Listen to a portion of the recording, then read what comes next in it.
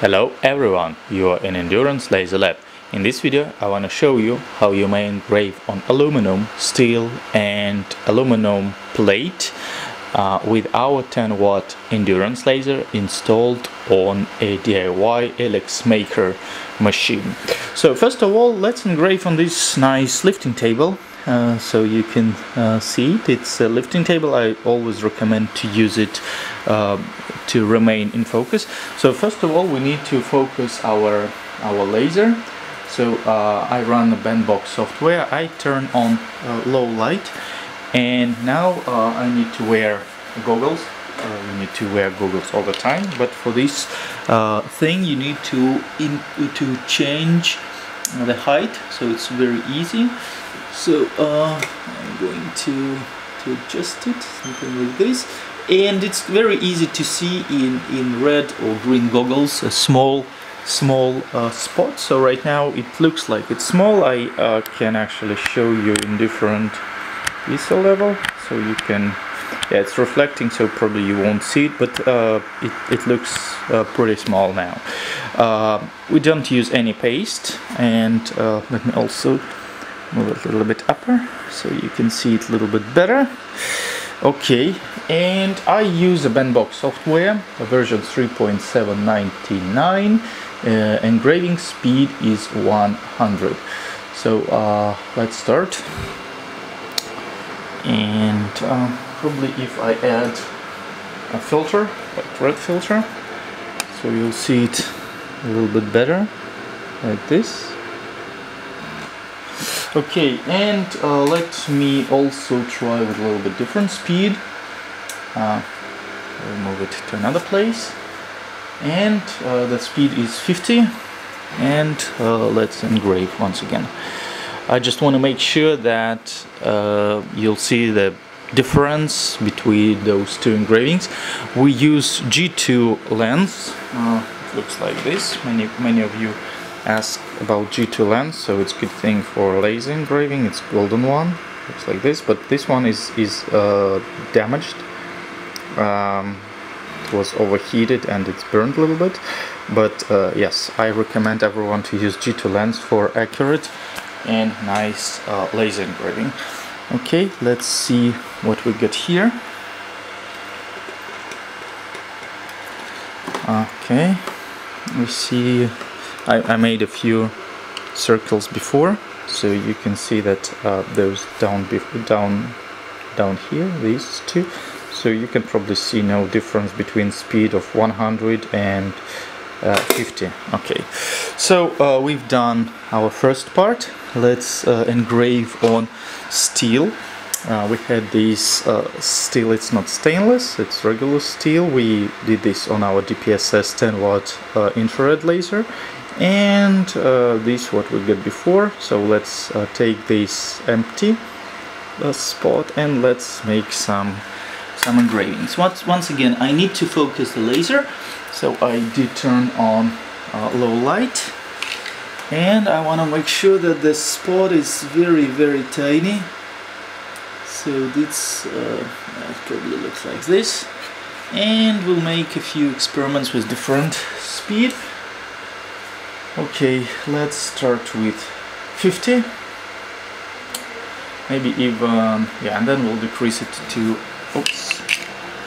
Uh, I missed it a little bit. Okay let's do this.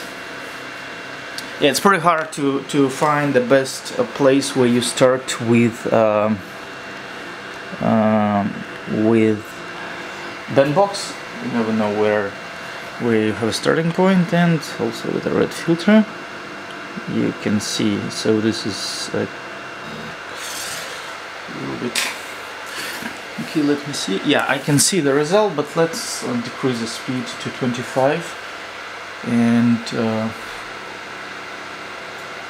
okay yes let's let's engrave another one, another one yeah so this is a pure pure steel. Like I said it's not stainless so it's not polished but uh, uh, should be fine. And uh, yeah just want to make sure what we get at the end. Also you can add filter. I have green oops sorry I had green filter as well but uh, red works good. So many of you ask what the difference between red goggles and green goggles. Actually you can see no no difference. Um, they both work well. Uh, and uh, but also stay safe if you have an enclosure. So probably this for this machine I will recommend you to make a big enclosure uh, to make sure that uh, okay so we can see it here. Okay.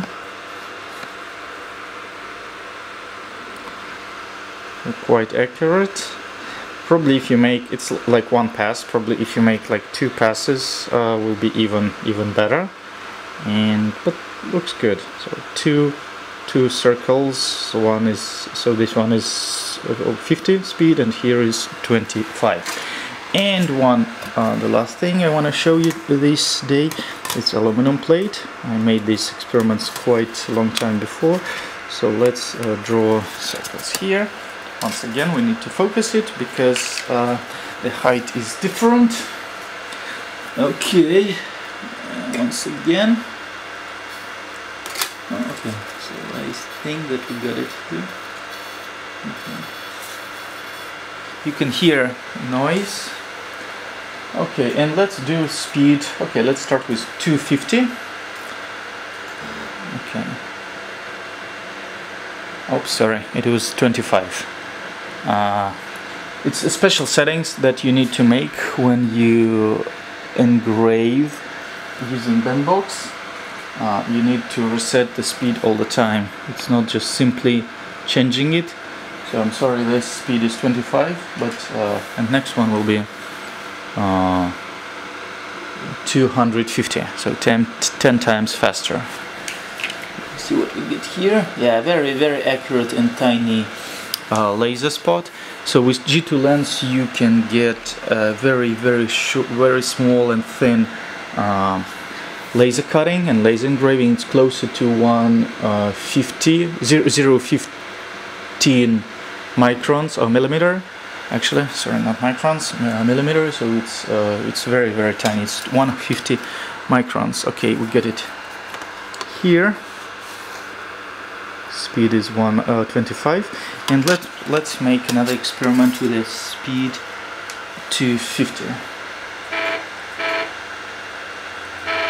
okay yeah. It's ma making some noise. Yeah that's the same result. Maybe even even better. So yeah so no paste no chemicals and quite accurate laser engravings on metals. So I showed you how you can engrave uh, on different metals without any special chemical paste just with endurance 10 watt laser. So if you wanna um, if you have any questions let me know and you're also welcome to post it in our Facebook group and email me at uh, gf at endurancerobots.com or text me plus 7 uh, Uh, 916 225 4302 and have a wonderful laser engraving with endurance. Bye bye.